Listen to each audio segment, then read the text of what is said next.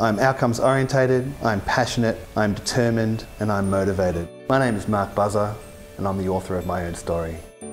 Movember's vision is to have an everlasting impact on men's health. To achieve this, we got men to grow moustaches to raise funds and awareness.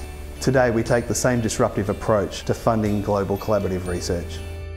I chose RMIT to do my executive MBA because it had strong links into industry and had a really practical focus. The Executive MBA has helped me to think more globally and it's the people that you meet across different industries that really help you to broaden your thinking and broaden your horizons.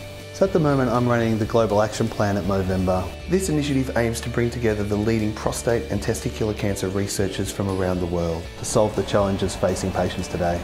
As my career progressed, I realised that I wanted to lead programs that would ultimately have an impact on the well-being of patients. Thanks to RMIT, I am.